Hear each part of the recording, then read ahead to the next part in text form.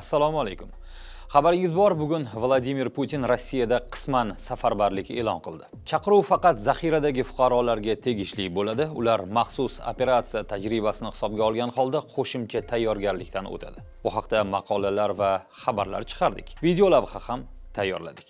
Endi bu safarbarlik ortidan qanday voqealar ro'y berayotgani haqida. Safarbarlik to'g'risidagi farmon e'lon qilingandan keyin rossiya fond bozori quladi.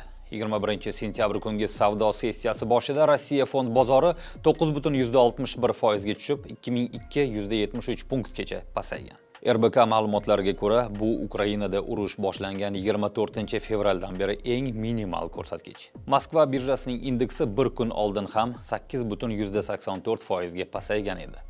Fond bozorining qulashi hozircha rubl kursiga ta'sir qilmagan, ammo bu vaqtinchalik, katta ehtimol. Urush boshlangandan keyin norezidentlar Rossiya fond bozoridan chiqib ketishdi. Hozirda uning asosiy harakatlantiruvchi kuchi mahalliy investorlar hisoblanadi. Fevraldan beri Moskva birjasi indeksi 60 foizdan ko'proqqa pasayib ketgan. Aviachiptalar yo yo'q yoki o'ta qimmat.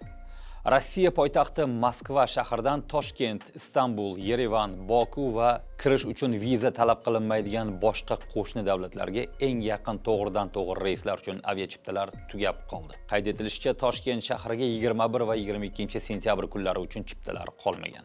Biroq Kunduz kuni holatiga ko'ra 23 sentyabrdan boshlab Toshkentga chipta sotib olish imkoniyati bor.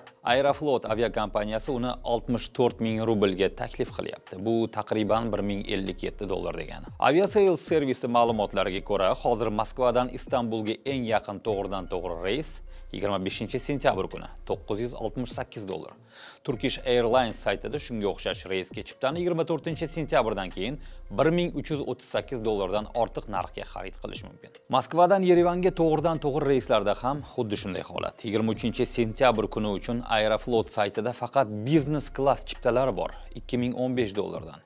24 sentyabrda esa 1024 dollar evaziga ekonomda uchish mumkin. Aeroflot aviakompaniyasidan Bokuga to'g'ridan to'g'ri parvoz 23 sentyabrgacha yo'q. Undan keyin esa 1200 dollarga tushadi. Ozarbayjon havo yo'llarida 22 sentyabrga 719 yevrodan, 24 sentyabrga 394 yevrodan boshlanadigan chiptalar bor, xolos. Vesna yoshlar demokratik harakati rossiyaliklarni Rossiya prezidenti Vladimir Putin tomonidan e'lon qilingan qisman safarbarlikka qarshi butun mamlakat bo'ylab norozilik namoyishlariga chiqishga chaqirmoqda. Minglab rus erkaklari nima uchun o'ladi? Onalar va bolalar nima uchun ko'z yosh to'kish kerak? Putin saroyi uchunmi? deb yozgan faollar bugun 21 sentyabr kuni ertalab ijtimoiy tarmoqlarda har kuni safarbarlik zarurligi haqida qichqirayotgan deputatlar va amaldorlar o'zlarining issiq kursilarida qoladi. Biz ularning o'zlarini safarbar qilish va Ukrainaga yuborish kerak deb hisoblaymiz, deyiladi ma'lumotda.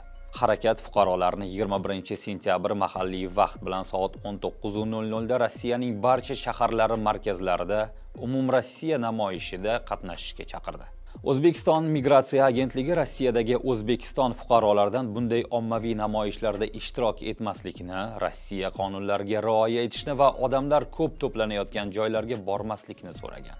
Safarbarlik e'lon qilingunga qadar yana bir yangilik paydo bo'lgan edi. Bir qancha davlatlar Qozog'iston, Armaniston, Turkiya va Vyetnamdagi bir qancha banklar Amerika Qo'shma Shtatlari Moliya vazirligining ikkilamchi sanksiyalari xavfi haqidagi ogohlantirish fonida Rossiyaning Mir to'lov tizimi kartalariga xizmat ko'rsatishni to'xtatdi. Turkiyada ikki yirik bank Is bankasi va Denizbank, Qozog'istonda Xalq banki, Vyetnamda BIDV rossiyaliklarning kartalari bilan operatsiyalar amalga oshirishdan bosh tortdi. Hozirga qadar Mir to'lov tizimi bilan Turkiya, Vyetnam, Janubiy Koreya, Armaniston, Belarus, Qozog'iston, Qirg'iziston, Tojikiston va O'zbekiston banklari hamkorlik qilib kelayotgan edi.